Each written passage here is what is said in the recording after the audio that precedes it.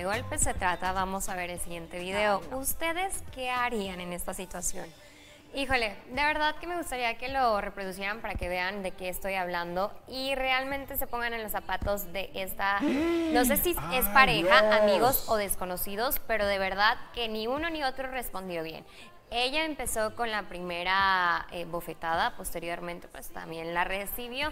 ¿Ustedes qué hubieran hecho? ¿Lo hubieran respondido? ¿No lo hubieran dado? Díganme ahora sí Pues, que pues es que la violencia nunca va a ser opción para arreglar un problema. Al contrario, lo, lo va a hacer más grande y tal es el caso de, de estas imágenes. Igualdad de género, ambos merecen respeto, ninguno debió de reaccionar con violencia. No, hombre, es que esto sí está increíble. Y es un claro ejemplo de que cuando tú regalas violencia, la vida te lo va a volver a regalar. Así que, mire, mejor aportarnos bien, usar el diálogo y demás, porque sabemos que, bueno, pues hay una frase que a todos nos gusta: a una mujer no se le toca ni con el pétalo de una rosa. Pero, ¿qué sucede cuando esta mujer, pues, comienza un, un dilema de agresión? O sea, ahí que, ¿cómo actúas? Claro, no Claro, la no fuerza no se compara nunca. Ah, no. Pero está comenzando una dama. Sí, sí. Yo creo que hay que ser pertinentes y decir lo que vamos a hacer. Es decir, pues no podemos exigir que no se nos eh, devuelva esta situación si nosotros la comenzamos. No es motivo, no es eh, excusa, sin embargo, él- ella se lo buscó al final por hacer esta primera agresión. No, que ella se lo buscó.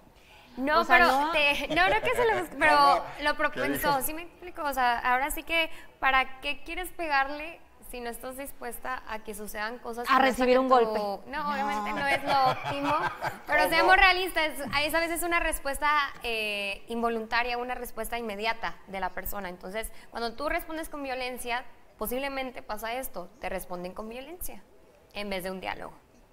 Sí, lo mismo pasa con, con la agresión verbal. ¿eh? Si tú empiezas a gritar, pues probablemente la otra persona también va a alzar la voz porque es una manera de defensa, ¿no? Pero pues la violencia en ninguna manera es correcta, ni verbal, ni física, no va a solucionar nada. Como lo mencionaba, al contrario, lo va a hacer más grande, más Oigan, es que difícil la no situación, más manches. Compleja.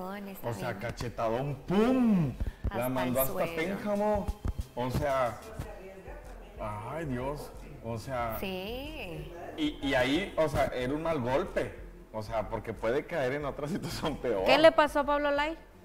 Ándale. pagando Claro las consecuencias de un momento de ira, de no, no saber controlar esos momentos. No sus pelee. sentimientos, O sea, canalice. no, no, no. Cual sea la situación, mire, vamos a platicar, vamos a sentarnos, vamos a dialogar, vamos a hacer este a hacer este pues unos seres pensantes, ¿verdad? O si ya sabes- dejamos la época de piedra. Claro. Ya no somos este ¿cómo le llamaban? A los unga unga, Cavernícola. cavernícola. A los unga unga. Dejémoslo así. No, O y sea, si no. tú sabes que eres de mecha corta, pues retirarte. Sí, a tiempo. Ay, la Lolita ya la disculpen. Ay, San Juan, pues bueno, a mí me sorprende Despierta, esto. Daiva, ¿eh? despierta.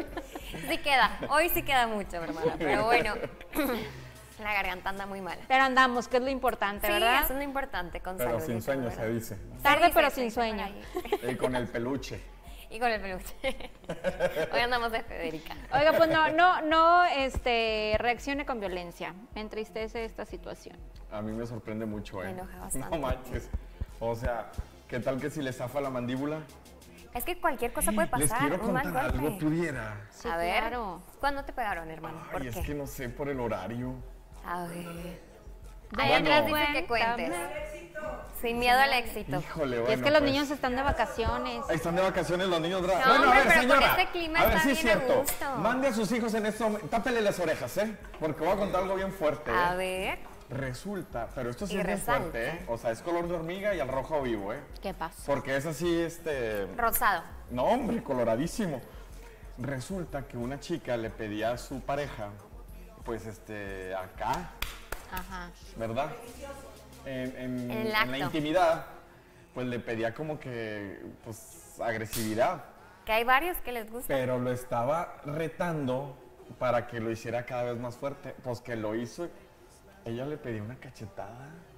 Y se Y la agarró cachetadas. Y el otro, pues que dijo, bueno, pues ah, querías una y que se la zumba. Ajá. El chavo es de Monterrey.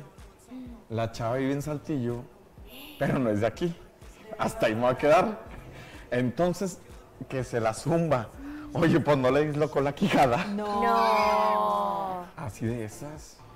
Amiga, ¿cómo andabas? ¡Qué bárbara! Se, se enfrió sea, todo el asunto. Pero no, bien hombre. Así de esas. Oiga, no, hombre, sí, qué barbaridad. cada fetiche que hay. Yo, yo la regañé, le dije, no manches, no andes haciendo eso. ¿Qué estás loca o qué te pasa? ¿Cuánto le costó el chistecito?